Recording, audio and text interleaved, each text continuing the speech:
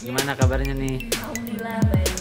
Iya semakin ke sini kayak karirnya semakin ngeroket aja nih. Amin ya Allah. ah kan kabarnya ada kabar burung nih kak katanya kakak lagi deket sama Abizar gitu katanya pacaran itu bener nggak sih kak? Sebenarnya wah berarti orang-orang ini ya berhasil baper sama seri satu yang kemarin Iya juga iya. senja ya. Eh, aku sama Abizar jujur udah temenan dari kecil dari aku Oke. SD. Oh. Dari tahun 2013 tuh aku udah temenan sama Abizar gitu. Dan sempet waktu itu dia sempet boyband juga, aku sempet girl band juga. Akhirnya ketemu lagi ternyata satu series menjadi pasangan gitu kan.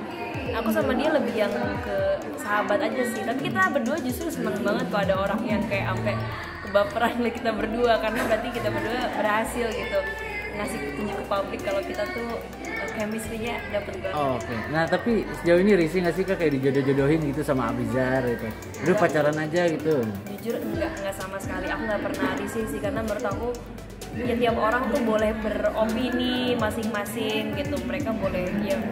Atau aku syuting sama ini mereka nge-shootnya sama ini syuting sama ini mereka nge-shootnya sama ini gitu ya. Ya nggak apa-apa sih menurut aku. Berarti eh, aku sama lawan main aku ini berhasil. Kalau aku pikirnya positif aja sih dan sejauh ini juga nggak ada yang terlalu mengganggu atau apa gitu nggak ada sama sekali jadi aku fine fine Termasuk nggak apa-apanya termasuk sampai akhirnya jika nanti takdir berbicara lain gitu. Tahu kita Bersama dengan Abizar gitu.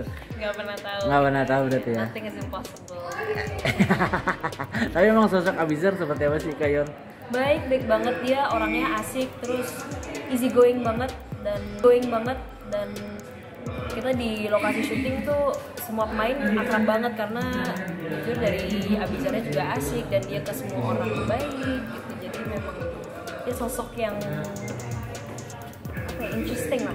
Dia masuk ke kriteria Kak Yoriko nggak sih? Sosok Abizar nih?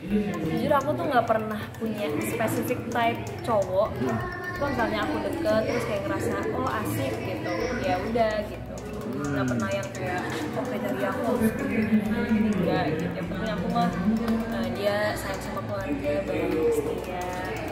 Gitu dan sisanya ya tergantung orang kan kita nggak bisa samain ya gitu orang dari orang Nah, eh, sampai sekarang masih sendiri gitu, tidak ada sosok spesial di hari-harinya Kak Yoriko nggak pernah merasa kesepian gitu kak? Atau seperti apa? Gitu? Enggak sih, nggak sama sekali. Karena aku punya banyak banget temen-temen yang selalu support kapan pun, di mana pun dan fun fact aku temennya rata-rata cowok semua Oke. jadi, jadi kayak nggak pernah kayak ngerasa kehilangan pengen diperhatiin atau apa gitu enggak, nggak sama sekali Hmm. karena memang udah emang udah temen-temennya cowok semua gitu. Berarti memang untuk urusan asmara lagi di belakang, di kebelakangin dulu nih kan untuk sekarang ini. Iya, aku santai sebenarnya banget nggak ada nggak ada. Karena memang lagi fokus untuk ngejar ke Amerika ini. Iya, itu.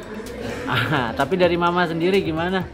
dari mama mama sih dia terserah aku aja sih lebih yang santai nggak terlalu yang gimana gimana enggak mama tuh yang penting akunya happy juga yang selama itu memberikan dampak yang positif ke aku ya udah oke Tapi kalau misalnya pacaran harus persetujuan mama nggak sih? Persetujuan mama nggak sih? harus dong pasti karena kan aku anak tunggal gitu Ah. kalau misalnya eh, nggak deket kalau pacaran nggak deket sama orang tua tuh rasanya aneh aja gitu Hmm.